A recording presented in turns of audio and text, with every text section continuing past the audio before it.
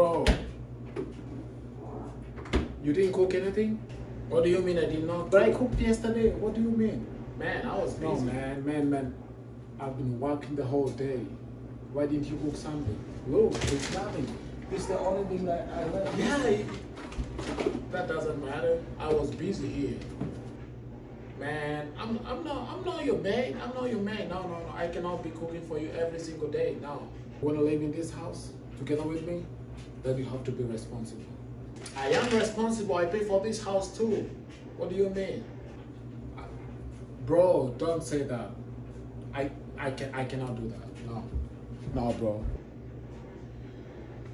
Oh man, I'm not here to go for you. No, not me, man. I